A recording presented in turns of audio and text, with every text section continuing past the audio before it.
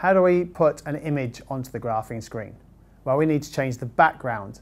This is found in Format. Press second Zoom and we can see we're into the Format screen. Scroll down to Background and then arrow across and on the calculator are five pre-installed images. We're going to focus on number four, the water fountain. If you now press Graph, look at that. What an awesome image.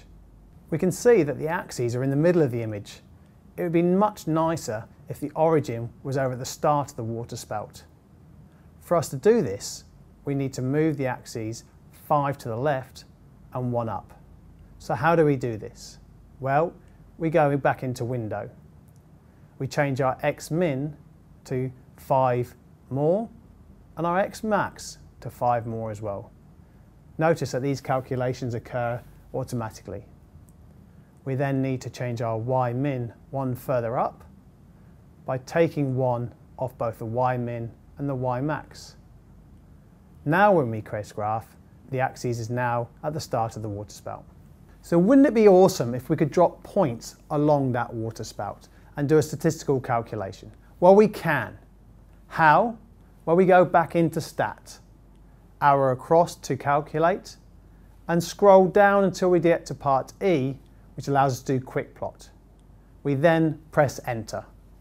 It now asks us to drop some points. Using the arrows, move to the water spout, and when your cursor is in the appropriate position, press enter. With a quadratic, we need at least three points plotted. Here's our second point, and using the cursor keys again, we'll drop a third.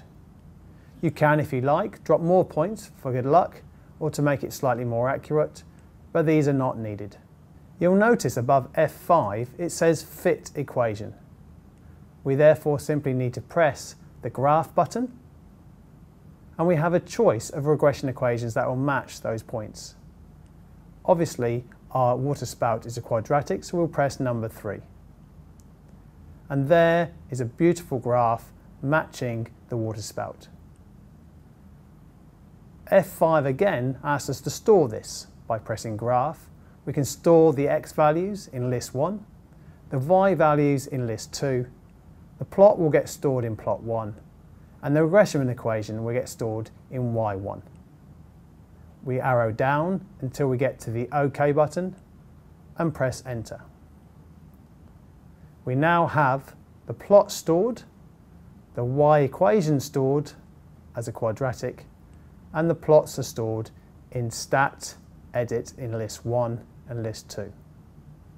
We now have a quadratic equation matching the water spout. But wouldn't it be fantastic if we could analyse that curve? Well, we can. To do this, we go into second trace. This allows us to find various values of significance. We could find an x value at a particular point on the curve. We could find the zero where the spout touches the x-axis again. But we're going to focus on finding the maximum. For this, we press number four. We're now asked to find the left bound using the arrow keys, move the cursor to the left of where the maximum is. Press enter. Now move the cursor to the right of where the maximum is and press enter again. It now asks us to guess. Well, between those two points, there's only one maximum. So now press enter again. And how about that? We now have the maximum value that the water spout reaches and the corresponding x value when this occurs. Thanks for watching this tutorial. I hope you found it informative and you now have the confidence to use and analyse your own images on the TI-84CE. Thanks for watching and see you next time.